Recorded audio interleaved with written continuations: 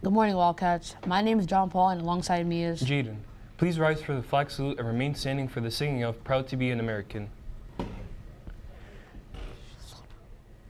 I pledge allegiance to the flag of the United States of America and to the republic for which it stands, one nation, under God, indivisible, with liberty and justice for all.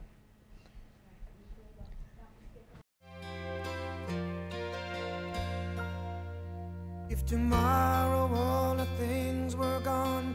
I'd worked for all my life. And I had to start again With just my children and my wife.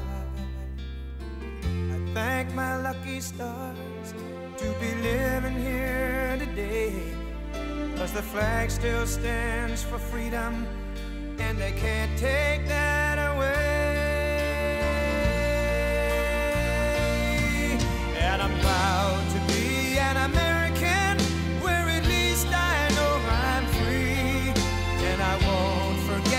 the men who died Who gave that right to me And I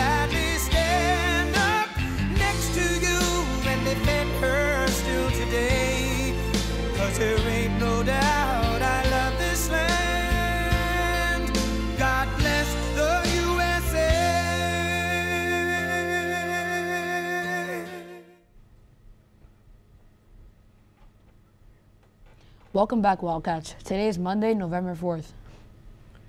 Today's lunch will be a hamburger on a bun or a cheeseburger on a bun with french fries.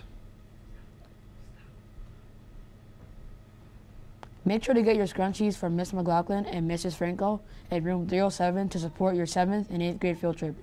They are being sold for $2, $2 each or 3 for $5. On Wednesday, November 6th, there will be a National Junior Honor Society meeting after school in room 305. Thanks, Thanks for, watching, and have, a great day, HPS. Let's, go, Wildcats.